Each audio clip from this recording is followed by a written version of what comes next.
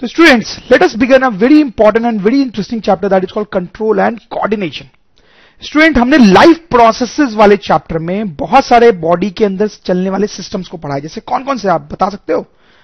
Digestive system के बारे में हमने पढ़ा स्टूडेंट्स और बताएँ सर्कुलेटरी सिस्टम के बारे में पढ़ा, और बताएँ रेस्पिरेटरी सिस्टम्स के बारे में पढ़ा एक्सक्रीटरी सिस्टम्स के बारे में पढ़ा है।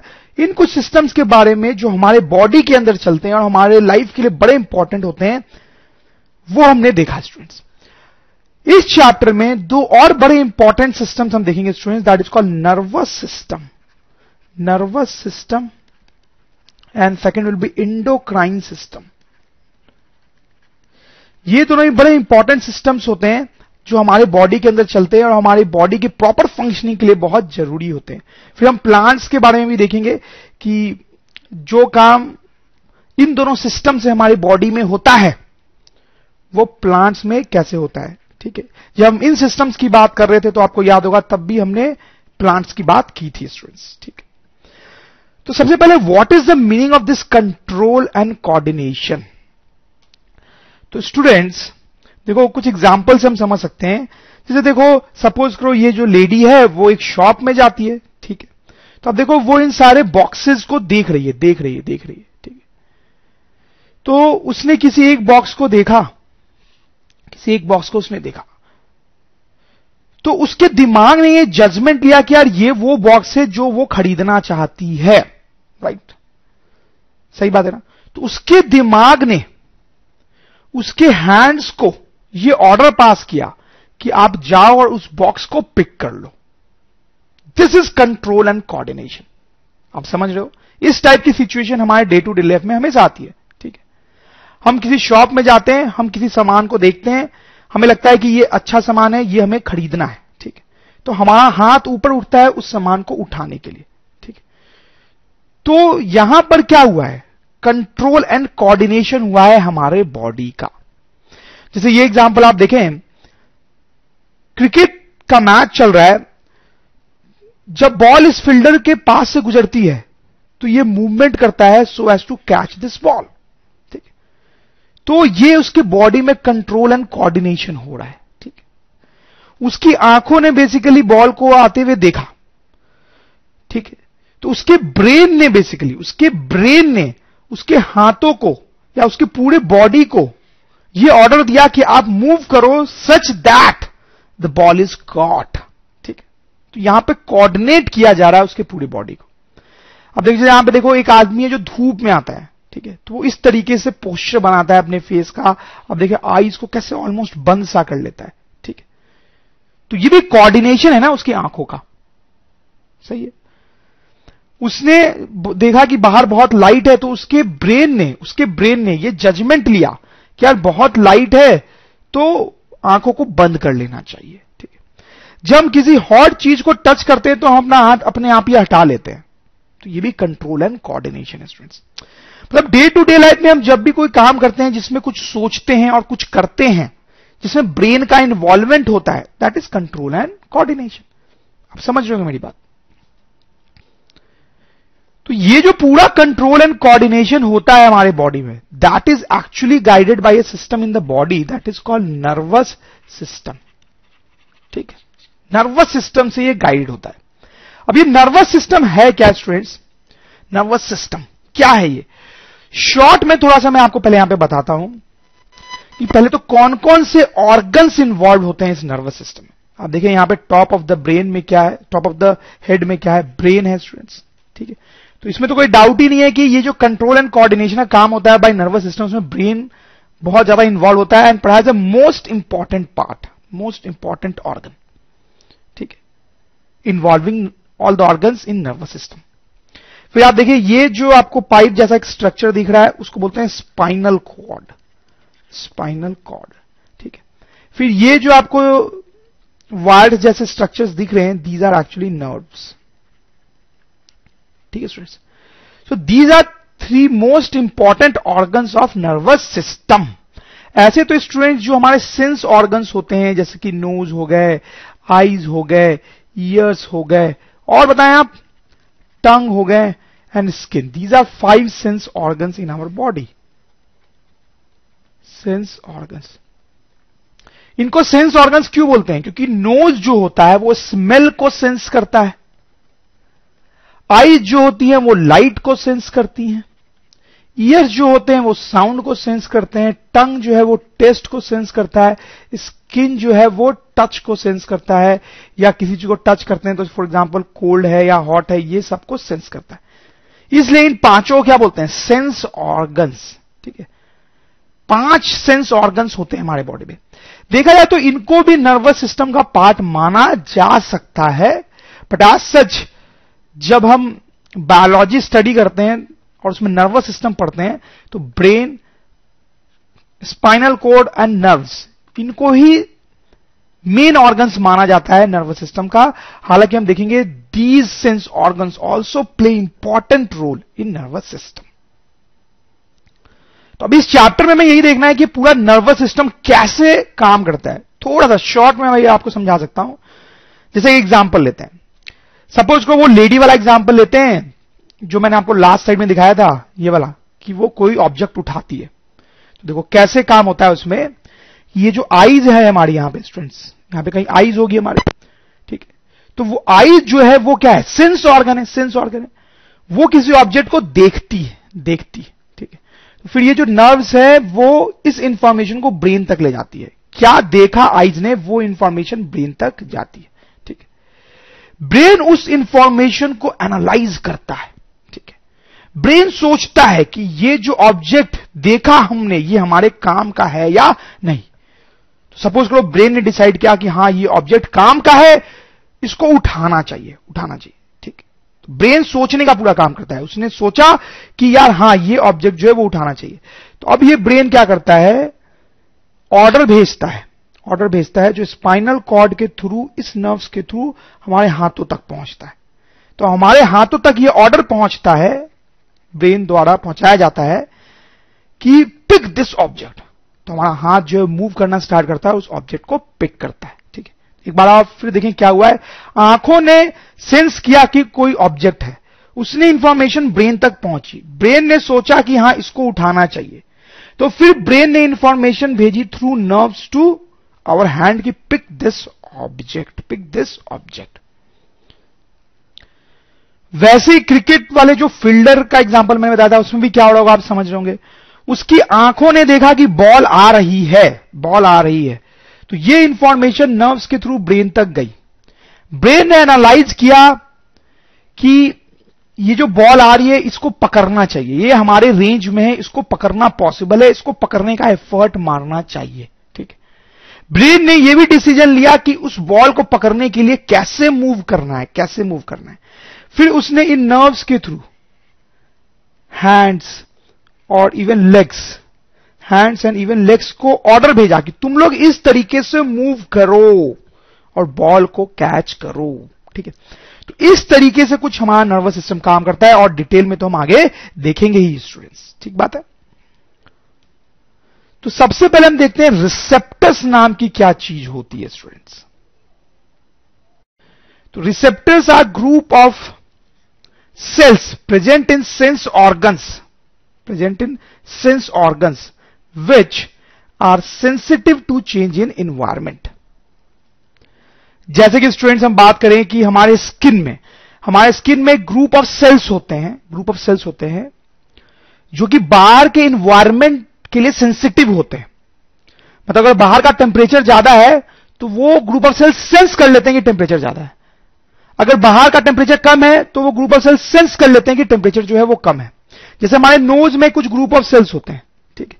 वो स्मेल के सेंसिटिव होते हैं स्मेल के सेंसिटिव होते हैं। बाहर अगर कहीं अच्छी स्मेल है तो वो उससे सेंसिटिव होते हैं। उसको जजमेंट ले लेते हैं कि हाँ अच्छी स्मेल है। कोई खराब स्मेल है तो ये जो रिसेप्टर्स होते हैं वो पता कर लेते हैं कि ये जो है खराब स्मेल है। ठीक है? वैसे आप समझ सकते हैं ईयर्स में भी रिसेप्टर्स होते हैं जो साउंड के सेंसिटिव होते हैं। ठीक है? कैसी साउंड आ रही है, वो पता कर लेते हैं। हमारे आँखों में ऐसे रिसेप्टर्स होते हैं जो लाइट के सेंसिटिव होते हैं। अगर लाइट आ रही है या नहीं आ रही है, किस कलर की आ रही है, वो सब जजमेंट दे लेते हैं। वैसे हमारे टंग के अंदर रिसेप्टर्स होते हैं जो टेस्ट के लिए सेंसिटिव होते हैं। ठीक है? आप समझ रहे मेरी बात? तो receptors are group of cells present in sense organs, which are sensitive to change in environment, change in environment. ठीक है स्टूडेंट्स जैसे मैं आपको बता सकता हूँ स्टूडेंट्स की नोज़ के अंदर जो रिसेप्टर्स होते हैं या ग्रुप ऑफ़ सेल्स होते हैं, उनको बोलते हैं ऑल्फैक्ट्री ऑल्फैक्ट्री रिसेप्टर्स हमारे स्किन के अंदर जो रिसेप्टर्स होते हैं ग्रुप ऑफ़ सेल्स होते हैं, उनको हम बोलते हैं थर्मो रिसेप्टर्स थर्मो रिसेप्टर्स ठीक है स्टूडेंट्स हमारे आईज के अंदर जो रिसेप्टर्स होते हैं, उनको हम बोलते हैं फ़ोटो रिसेप्टर्स ईयर्स के अंदर जो रिसेप्टर्स होते हैं ग्रुप ऑफ़ सेल्स होते हैं, उनको हम बोलते हैं फोनो रिसेप्टर्स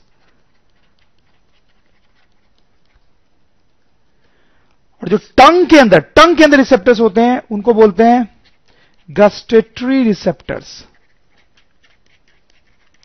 ठीक है? तो इस तरीके से, आप देखें कितने टाइप के रिसेप्टर्स होते हैं? One two three four five ठीक है? जो हमारे सेंस ऑर्गन्स में प्रेजेंट होते हैं। And they are responsible for sensing change in environment ठीक है? हम कोई चीज़ सुन रहे हैं तो वो कान के थ्रू सुनते हैं, और कान के थ्रू इसलिए सुन पाते हैं क्योंकि कान में रिसेप्टर्स होते हैं फोनो रिसेप्टर्स जो साउंड को पिक करते हैं। साउंड के प्रति सेंसिटिव होते हैं। ठीक है? वैसे बाकी रिसेप्टर्स की भी कहानी है।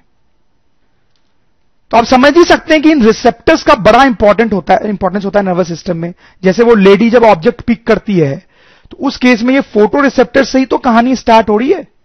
ये जो फ़ोटो रिसेप्टर्स है, उनके थ्रू ही तो ऑब्जेक्ट को हम देख पा रहे हैं। ठीक है?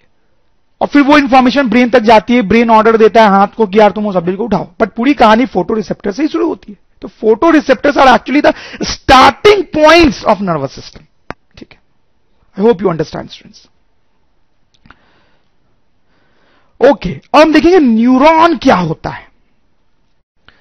तो स्टूडेंट्स आप देखिए हमने बात की थी नर्व्स की, आपको याद होगी।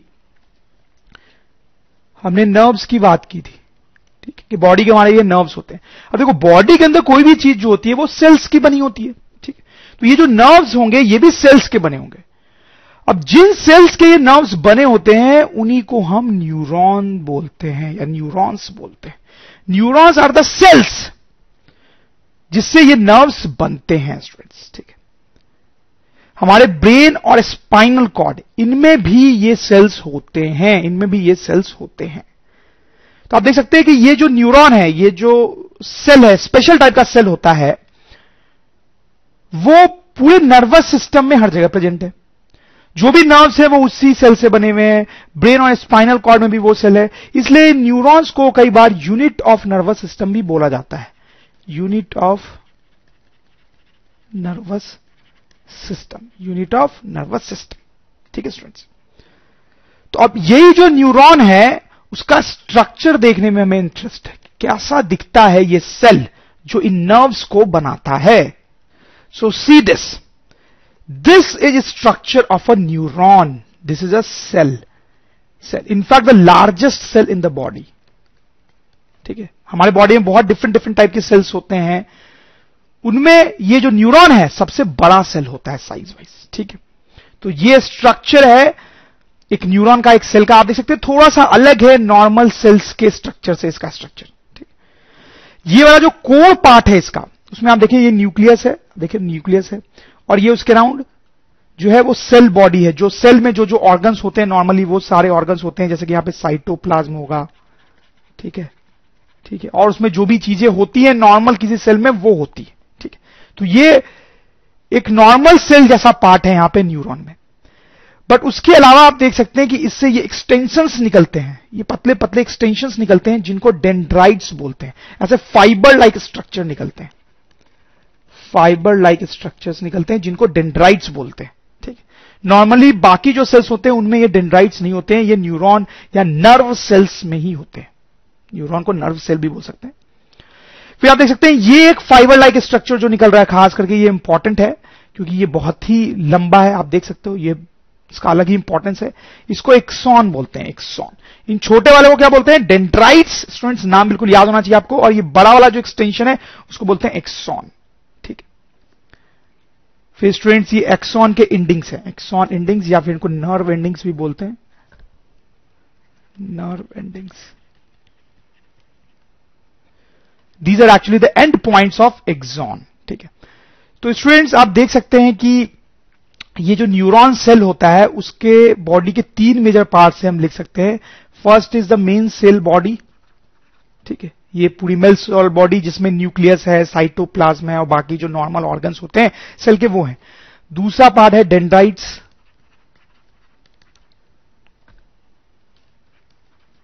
और तीसरा पार्ट है एक्सॉन ठीक है। When we talk about the structure of neuron these are the three important parts तो यही जो न्यूरॉन आपको दिख रहा है स्टूडेंट्स ऐसे बहुत सारे न्यूरॉन्स एक के बाद, एक के बाद, एक के बाद अरेंज होते हैं। मतलब जैसे ये नर्व है तो एक न्यूरॉन होगा ऐसे, फिर उसके बाद एक दूसरा न्यूरॉन फिर ऐसे तीसरा न्यूरॉन फिर चौथा न्यूरॉन फिर पांचवा न्यूरॉन ऐसे बहुत सारे न्यूरॉन एक चेन बनाते हैं। और उस चेन से ही क्या बनता है? नर्व्स बनते हैं नर्व्स बनते हैं। ठीक है। स्पाइनल कॉल और ब्रेन में भी ऐसे सेल्स होते हैं न्यूरॉन्स होते हैं। ठीक है स्टूडेंट्स तो स्टूडेंट्स ये तो बात हो गई न्यूरॉन के स्ट्रक्चर की। अब बात करना है कि ये न्यूरॉन करता क्या है और जो भी करता है, कैसे करता है। तो एक बात तो हम समझ ही चुके हैं कि न्यूरॉन की चेन जो है, वही बेसिकली नर्व्स है। तो अगर ब्रेन हमारे हाथ को ऑर्डर दे रहा है ब्रेन जो है, वो हाथ को ऑर्डर दे रहा है कि आप मूव करो, उस सामान को उठाओ तो हाथ तक वो ऑर्डर कैसे पहुँचता है? वो इन नर्व्स के थ्रू पहुँचता है, हमने देखा नर्व्स के थ्रू ये मैसेज पहुँचता है। नर्व्स के थ्रू ये मैसेज पहुँचता है। मतलब न्यूरॉन्स के थ्रू पहुँचता है, ठीक? तो न्यूरॉन्स के थ्रू जो है मैसेज ट्रांसमिट होता है, ठीक? तो न्यूरॉन्स का मेन काम आपको समझ में आया? मैसेज को ट्रांसमिट करना। तो स्टूडेंट्स हम लिख सकते हैं इस बात को कि न्यूरॉन की जो वर्किंग है, उसमें सबसे पहला पॉइंट यह है कि neurons are responsible for transmitting message from brain to body parts. From brain to body parts and vice versa. And vice versa. मतलब अगर हाथ को यह फील हुआ कि कोई चीज़ बहुत गर्म है तो वो इंफॉर्मेशन भी दिमाग तक जाती है थ्रू नर्व्स और न्यूरॉन्स थ्रू न्यूरॉन्स ठीक है स्टूडेंट्स अब हम ये समझना चाहते हैं कि ये जो न्यूरॉन है, वो मैसेज को कैसे इधर से उधर ट्रांसमिट करता है? व्हाट इज़ द मैकेनिज्म जिसके थ्रू ये इधर से उधर मैसेज को ट्रांसमिट करता है। तो ये स्टूडेंट्स एक न्यूरॉन है। आप सोचो, इसके बाद एक और न्यूरॉन होगा, फिर उसके बाद एक और न्यूरॉन होगा। ऐसे न्यूरॉन की लंबी चेन है हमारे पास, ठीक है?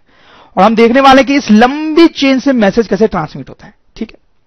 तो मैं आपको एग्ज़ाम्पल देकर समझाता हूँ स्टूडेंट्स सपोज़ करो कि ये जो न्यूरॉन है, वो हमारे किसी सेंस ऑर्गन में, हमारे किसी सेंस ऑर्गन में। सपोज़ करो स्किन में और यहाँ पर स्किन के रिसेप्टर्स होंगे, ठीक है? इस न्यूरॉन के आसपास स्किन में जो रिसेप्टर्स होते हैं, टच वाले, क्या बोलते हैं इनको students thermo receptors thermo receptors ठीक है? तो ये जो न्यूरॉन है स्टूडेंट्स वो सपोज़ करो हमारे स्किन में तो उसके आसपास ये रिसेप्टर्स होंगे रिसेप्टर्स होंगे। या फिर सोचो आईज में भी हो सकता है। तो आईज में भी होगा तो उसके आसपास रिसेप्टर्स होंगे। तो उस टाइम फ़ोटो रिसेप्टर्स होंगे। वैसे ये किसी भी सेंस ऑर्गन में हो सकता है, ठीक है। अब ये जो रिसेप्टर्स हैं रिसेप्टर्स इन्होंने कोई इंफॉर्मेशन पिक की, कोई इंफॉर्मेशन पिक की। तो जब ये कोई इंफॉर्मेशन पिक करते हैं तो एक केमिकल रिएक्शन होती है इन रिसेप्टर्स में। इन रिसेप्टर्स में केमिकल रिएक्शन होती है। केमिकल रिएक्शन जब ये रिसेप्टर कोई इंफॉर्मेशन पिक करते हैं, जैसे अगर ये हमारे स्किन में तो इन्होंने देखा कोई चीज़ बहुत हॉट है। ठीक इन्होंने फील किया कोई चीज़ बहुत हॉट है। तो इनमें एक केमिकल रिएक्शन होता है। अगर इन्होंने फील किया कि कोई चीज़ बहुत कोल्ड है तो एक अलग टाइप की केमिकल रिएक्शन होती है। ठीक है? अगर ये हमारे नोज़ में है, और इन्होंने कुछ अच्छी चीज़ स्मेल की, कोई रोज स्मेल किया, बहुत अच्छी स्मेल आई इनको। तो इनमें एक केमिकल रिएक्शन होता है, ठीक। अब देखो, ये जो रिसेप्टर्स हैं, वो डेंड्राइट्स के कांटेक्ट में है। ये जो रिसेप्टर्स हैं, वो डेंड्राइट्स के जो एंड्स हैं, ऐसे, ये जो डेंड्राइट्स के टिप्स हैं, उनके कांटेक्ट में तो ये जो रिसेप्टर के अंदर केमिकल रिएक्शन हो रहा है, उसके कारण इस डेंड्राइट में एक इलेक्ट्रिकल इंपल्स क्रिएट होता है। रिसेप्टर्स ने कुछ इंफॉर्मेशन कलेक्ट की। उस इंफॉर्मेशन के बेसिस पर रिसेप्टर में केमिकल रिएक्शन होता है।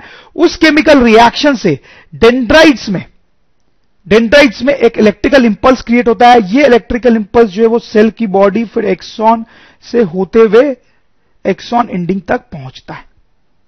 इलेक्ट्रिकल इंपल्स इलेक्ट्रिकल इंपल्स देखो स्टूडेंट थोड़ा सा कॉम्प्लिकेट आपको लग सकता है, इसलिए मैं लिख देता हूँ कि यहाँ पे क्या हुआ। When receptors sense anything or sense any information, a chemical reaction is triggered. तो उन रिसेप्टर्स में एक केमिकल रिएक्शन होती है। This chemical reaction causes an electrical impulse in dendrites please note the word electrical impulse इसको कई बार सिर्फ़ impulse भी बोल देते हैं। या फिर इलेक्ट्रिकल इंपल्स की जगह नर्व इंपल्स भी बोल देते हैं। तो these chemical reaction cause and nerve और इलेक्ट्रिकल इंपल्स इन डेंड्राइट्स तो यहाँ पर जो केमिकल रिएक्शन होती है रिसेप्टर्स में, उसी कारण डेंड्राइट्स में एक इस तरह से इंपल्स क्रिएट होता है electrical impulse this impulse travels through the body of neuron to axon ends अब ये जो इंपल्स है, जो मैसेज को कैरी कर रही है, वो एक्शन की बॉडी से होते हुए ऐसे एंड तक पहुँच जाती है स्टूडेंट्स ठीक है? तो किस फॉर्म में मैसेज ट्रांसमिट हो रहा है स्टूडेंट्स इलेक्ट्रिकल इंपल्स के फॉर्म में। इलेक्ट्रिकल इंपल्स के फॉर्म में मैसेज ट्रांसमिट होता है थ्रू न्यूरॉन्स ठीक है। अब स्टूडेंट्स अब नेक्स्ट स्टेज आता है हमारे स्टडी में कि वो इसके एंडिंग तक तो पहुँच गया। ठीक है, इस न्यूरॉन के। अब क्या होना है? अब इसके बाद दूसरा न्यूरॉन है। अब यहाँ पे दूसरा न्यूरॉन है। अब इस मैसेज को दूसरे न्यूरॉन में जाना है। फिर उस दूसरे न्यूरॉन से तीसरे न्यूरॉन में जाना है। तो अभी तक हमने समझा कि एक न्यूरॉन में कैसे मैसेज आगे बढ़ा। अब एक न्यूरॉन से दूसरे न्यूरॉन में मैसेज कैसे जाएगा, वो हम देखेंगे। तो स्टूडेंट्स, क्या होता है कि यहाँ पर ये जो न्यूरॉन खत्म हुआ ना तो अब यहाँ पे दूसरा न्यूरॉन आने वाला है तो उस न्यूरॉन के जो डेंड्राइट्स होंगे, उस न्यूरॉन के जो डेंड्राइट्स होंगे, डेंड्राइट्स। ठीक है? वो इस एक्सॉन इंडिंग्स के, देखो, इस न्यूरॉन के एक्सॉन इंडिंग्स, और जो नेक्स्ट न्यूरॉन है उसके डेंड्राइट्स बहुत पास पास में होते हैं, बहुत पास पास में होते हैं, और उनके बीच में एक गैप होता है, जिनको बोलते हैं सिनेप्स सिनेप्स ठीक है? और समझ लो ये न्यूरॉन के जो एंडिंग्स हैं, और दूसरे न्यूरॉन के जो डेंड्राइड्स हैं स्टार्टिंग पॉइंट ठीक उनके बीच में बहुत थोड़ा सा गैप होता है, बहुत थोड़ा सा गैप होता है, बहुत ही छोटा सा गैप होता है दैट इज़ कॉल्ड सिनेप्स उस गैप के थ्रू ही मैसेज ट्रांसमिट होता है। सोचने में अजीब सा लग सकता है कि उस गैप के थ्रू मैसेज कैसे ट्रांसमिट होगा। तो मैं आपको समझाऊँगा। इस फोटोग्राफ पे आप गौर करें स्टूडेंट्स ये जो है, आप समझें क्या है? इस नर्व का एक्सॉन एंडिंग है।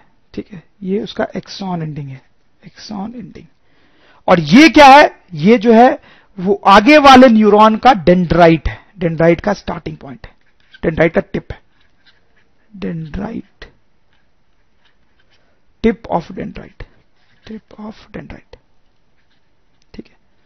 मतलब यहाँ का जो रीजन है, बिल्कुल, उसको मैंने जूम किया है और जूम करके यहाँ पे बनाया है। ठीक है? तो देखो सिचुएशन क्या है स्टूडेंट्स यहाँ से इलेक्ट्रिकल इंपल्स आया। इलेक्ट्रिकल इंपल्स आया एक्सॉन के इंड तक आया। ठीक है? अब यहाँ पर गैप है। इलेक्ट्रिकल इंपल्स जो होता है, वो गैप से ट्रेवल नहीं कर सकता है। गैप से ट्रेवल नहीं कर सकता है। यहाँ से इस गैप से इलेक्ट्रिकल इंपल्स पास नहीं हो सकता है। ठीक? तो फिर ये जाएगा कैसे आगे? यहाँ पर तो गैप है। तो स्टूडेंट्स होता क्या है? जब ये इंपल्स इस एंड पर पहुँचता है तो यहाँ पर एक केमिकल प्रोड्यूस होता है वंस अगेन यहाँ पर एक केमिकल प्रोड्यूस होता है। बहुत थोड़े से अमाउंट में, थोड़े से अमाउंट में यहाँ पे केमिकल प्रोड्यूस होता है। वो जो केमिकल होता है, वो ये जो ऑरेंज ऑरेंज आपको दिखाया गया, वो केमिकल्स ही दिखाया जा रहा है आपको। इस एंड पे बहुत थोड़े से अमाउंट का एक केमिकल प्रोड्यूस होता है। वो केमिकल इस छोटे से स्पेस को जिसको हम सिनेप्स बोल रहे हैं सिनेप्स बोल रहे हैं, उसको क्रॉस करता है। ठीक तो क्रॉस करके वो टिप ऑफ़ डेंड्राइट तक पहुँचता है और जब वो केमिकल टिप ऑफ़ डेंड्राइट तक पहुँचता है तो वहाँ पे वापस से इलेक्ट्रिकल इंपल्स क्रिएट होता है। वैसा इलेक्ट्रिकल इंपल्स क्रिएट होता है जैसा कि यहाँ पर था। और फिर ये इलेक्ट्रिकल इंपल्स इस न्यूरॉन से आगे जाता है। समझ में आया? आपको बाद में एक बार रिपीट करता हूँ। इलेक्ट्रिकल इंपल्स यहाँ तक पहुँचा एक्सॉन एंड तक, ठीक है? लेकिन अब ये खाली जगह यहाँ पे, जिसको सिनेप्स बोलते हैं, उससे इलेक्ट्रिकल इंपल्स क्रॉस नहीं कर सकता है। तो क्या होता है कि यहाँ पर एक्सॉन एंडिंग पर, जब इलेक्ट्रिकल इंपल्स पहुँचता है तो एक केमिकल प्रोड्यूस किया जाता है यहाँ पर बहुत थोड़े से अमाउंट में। वो केमिकल इस एम्प्टी स्पेस को क्रॉस करके टिप ऑफ़ डेंड्राइट तक पहुँचता है। और जब वो टिप ऑफ़ डेंड्राइट तक पहुँचता है तो यहाँ पे एक नया इलेक्ट्रिकल इंपल्स क्रिएट होता है, अब वो इलेक्ट्रिकल इंपल्स इस न्यूरॉन से आगे जाएगा। ठीक। और फिर आगे क्या होगा? ये इस न्यूरॉन के एंड तक पहुंचेगा। ये जो इंपल्स है, वो इस न्यूरॉन के एंड तक पहुंचेगा। और फिर क्या होगा? फिर से वहाँ पे सिनेप्स होगा। वहाँ पर केमिकल्स प्रोड्यूस होंगे। और वही कहानी होगी जो यहाँ पर हुई थी। तो आपको समझ में आ रहा होगा क्या हो रहा होता है। हम इसको लिख भी सकते हैं स्टूडेंट्स तो देखें ये मैंने लिखा है यहाँ पे tiny amount of chemical is released in synapse in synapse by axon endings when impulse reaches there ठीक है? This chemical crosses the synapse and reaches to tip of dendrite. Reaches to tip of dendrite. Where it again produces electrical impulse यहाँ पे वापस से वो electrical impulse produce करता है। This impulse travels along neuron ठीक है? तो आपको पूरी कहानी समझ में आ गई होगी कैसे न्यूरॉन से मैसेज जो है वो ट्रांसमिट होता है। थोड़ा सा हम रिकॉल भी कर सकते हैं। ये सपोज़ करो हमारा न्यूरॉन है। ठीक है? फिर उसके बाद दूसरा न्यूरॉन है। फिर ये हमारा, फिर तीसरा न्यूरॉन है। ठीक है? फिर हमारा ये ऐसे न्यूरॉन की चेन है, ठीक है? तो यहाँ पर रिसेप्टर्स है, ठीक है? रिसेप्टर ने जब इंफॉर्मेशन कलेक्ट की तो यहाँ पर एक केमिकल रिएक्शन हुआ। उस केमिकल रिएक्शन के कारण डेंड्राइट में क्या हुआ? एक इलेक्ट्रिकल इंपल्स प्रोड्यूस हुआ। वो इलेक्ट्रिकल इंपल्स न्यूरॉन से पास होता हुआ न्यूरॉन के एंड तक पहुँच जाता है। फिर वो न्यूरॉन के एंड से दूसरे न्यूरॉन में कैसे जाता है स्टूडेंट्स फिर केमिकल के हेल्प से जाता है, ठीक फिर वो न्यूरॉन से ट्रांसमिट होता है थ्रू इलेक्ट्रिकल इंपल्स फिर दूसरे न्यूरॉन में वो जाता है थ्रू केमिकल्स फिर उस न्यूरॉन से पास होता है थ्रू इलेक्ट्रिकल इंपल्सेस फिर वो दूसरे न्यूरॉन में जाता है थ्रू केमिकल्स और वैसे ही प्रोसेस चलता रहता है और ये जो मैसेज है वो फाइनली ब्रेन तक पहुँच जाता है, ठीक आप समझ मेरी बात? इसी तरीके से यही फेनोमेना रिपीट होता है जब ब्रेन से मैसेज दूर जाता है, ठीक है? बेसिक फिनोमेना यही है। तो स्टूडेंट्स हमने अब यह भी देख लिया कि न्यूरॉन्स जो है वो कैसे काम करते हैं। अब देखिए टाइप्स ऑफ़ न्यूरॉन्स न्यूरॉन्स जो होते हैं वो तीन टाइप के होते हैं स्टूडेंट्स सेंसरी न्यूरॉन्स अब देखें, ध्यान दें sensory neurons motor neurons and relay neurons ठीक है स्टूडेंट्स अब ये सेंसरी न्यूरॉन्स कौन से न्यूरॉन्स होते हैं? तो देखो क्या होता है स्टूडेंट्स हमारा जो ब्रेन होता है और फिर हमने ये भी देखा था कि उसके नीचे स्पाइनल कॉर्ड होता है, जो रॉड लाइक स्ट्रक्चर है, इन दोनों के बारे में हम डिटेल में देखेंगे। स्पाइनल कॉर्ड ठीक है। फिर हमने कहा था कि इन्हीं सबसे नर्व्स निकलती हैं। इनसे नर्व्स निकल के बॉडी के डिफरेंट डिफरेंट पार्ट्स में जाती है कुछ। सही है ना स्टूडेंट्स तो यहाँ पर क्या होता है कि ब्रेन और स्पाइनल कॉर्ड को ब्रेन और स्पाइनल कॉर्ड को बोलते हैं central nervous system central nervous system ठीक है? उनको सेंट्रल नर्वस सिस्टम का नाम दिया गया ब्रेन प्लस स्पाइनल कॉर्ड को। ठीक है? और स्टूडेंट्स ये जो हमारे नर्व्स होते हैं नर्व्स इनको नाम दिया गया peripheral peripheral nervous system nervous system peripheral nervous system in fact कई बार आपसे पूछा भी जा सकता है कि नर्वस सिस्टम के कौन से दो पार्ट्स होते हैं। तो एक सेंट्रल नर्वस सिस्टम, जिसमें ब्रेन और स्पाइनल कॉर्ड बोलेंगे, और दूसरा पेरीफेरल नर्वस सिस्टम, जिसमें नर्व्स बोलेंगे। ठीक है स्टूडेंट्स अब देखो स्टूडेंट्स ये सेंसरी न्यूरॉन्स वो होते हैं जो मैसेज को मैसेज को बॉडी पार्ट से बॉडी पार्ट से सेंट्रल नर्वस सिस्टम तक ले जाते हैं। सेंट्रल नर्वस सिस्टम तक ले जाते हैं। समझ रहा मेरी बात? तो हम यहाँ पे लिख सकते हैं transmit let's use different colour transmit message from body parts to central nervous system to central nervous system मतलब वो बॉडी पार्ट्स से इंफॉर्मेशन कलेक्ट करके सेंट्रल नर्वस सिस्टम मतलब ब्रेन और स्पाइनल कॉर्ड तक ले जाते हैं। ठीक है मोटर